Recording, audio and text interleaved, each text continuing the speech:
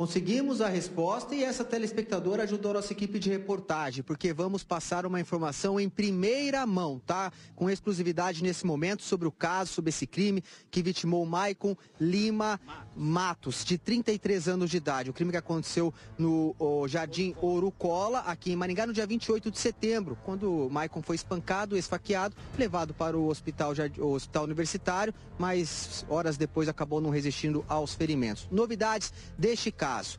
Agradecendo o delegado Diego Lima, tá, da Delegacia de Homicídios aqui de Maringá, nosso parceiro, Diego Almeida, né, da Delegacia de Homicídios aqui de Maringá, nosso parceiro, os investigadores, que não só assistem o Cidade Alerta, mas estão sempre conectados com a nossa equipe, passando todas as informações necessárias para deixar a população bem informada. Novidade é o seguinte, Nader, o assassino foi identificado pela Polícia Civil.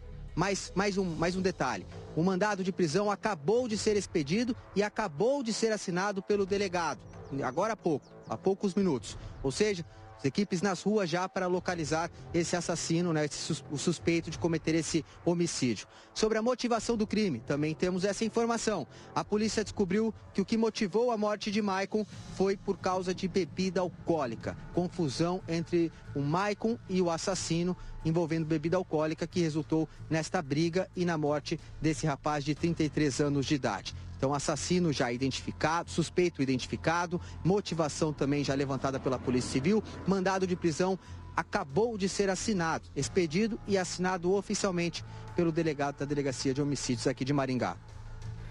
Olha aí então, o Maria Helena que fez a pergunta ali no YouTube. Maria Helena, a resposta então do Igor Kremer. Na verdade, a sua indagação fez com que a nossa equipe fosse em busca de respostas e trouxesse com exclusividade a resposta.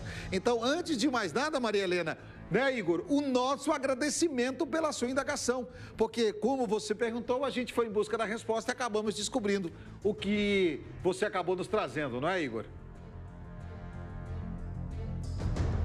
É, todas essas informações seriam divulgadas, serão divulgadas amanhã a toda a imprensa maringaense, mas devido à nossa telespectadora, a gente já entrou em contato com o delegado, que é nosso parceiro também, alguns investigadores também parceiros, e aí a informação veio em primeira mão e nossos telespectadores todos agora bem informados sobre este caso, esse crime registrado aqui na cidade. Nader. Fechou. Igor Kremer já já está de volta comigo. Segura aí.